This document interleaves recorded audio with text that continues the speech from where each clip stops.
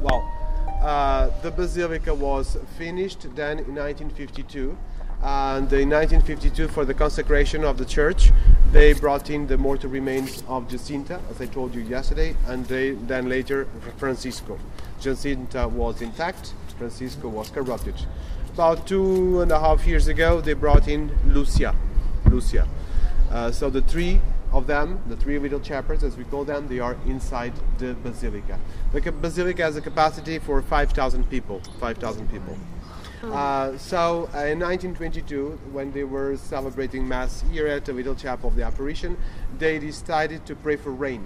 So they, didn't- they didn't get uh, any rain, but when they looked behind them, there was a spring of water that came out of the ground. So the little chapel is there, and you see that round pushes with the statue, the golden statue, the Sacred Heart of Jesus. That's where you have the taps to get holy water. Well, uh, the little chapel of the apparition is the most important place, the goal of all the pilgrims. That structure around, that structure around uh, that you see from here, those columns and the glass and that wood, uh, that was placed in 1982 when the Pope John Paul II came as a pilgrim. It was not an official visit.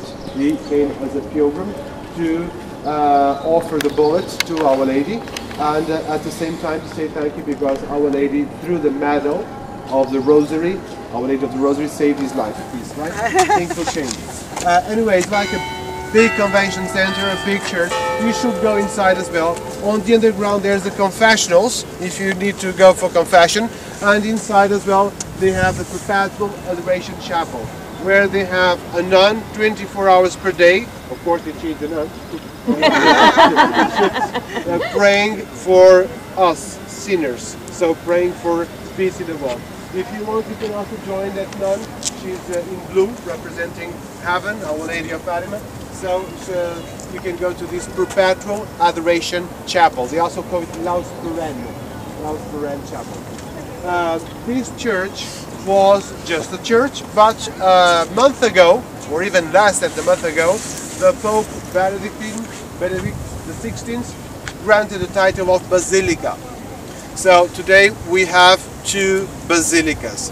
Uh, what's a basilica? Well, it's a special title given by the Pope, by the Vatican, and usually to a church, to a church that uh, has a relic, a relic or a special devotion. In this case, we don't have uh, a relic, a body or so.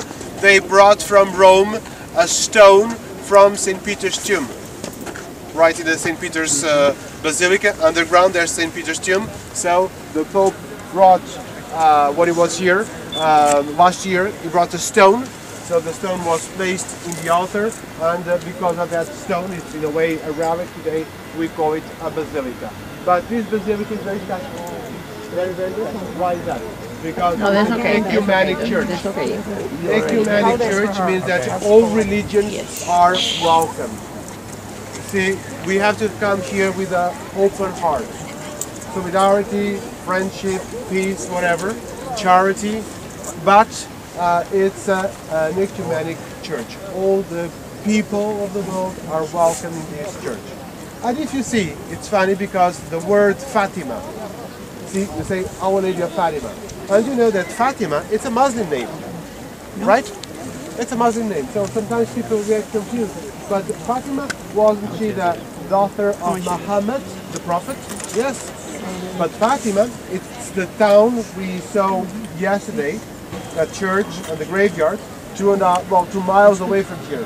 That is the village Fatima that comes from the Muslim days when Portugal was occupied by the Muslims. So they kept the name Fatima. People would come here because the closest town was Fatima, so they named the place Fatima. But you know that this area is known as Cova da Iria. But just to say that Fatima is a Muslim name and we are in a Christian shrine. Interesting.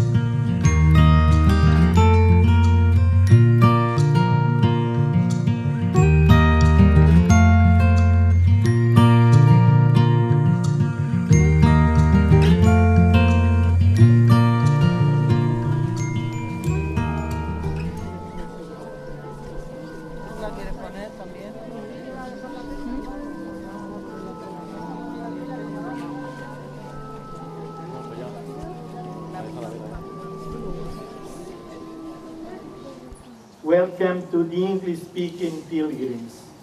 As today is Thursday, we will have the procession of the Blessed Sacrament after the Rosary, and we pray for priests in priestly vocations.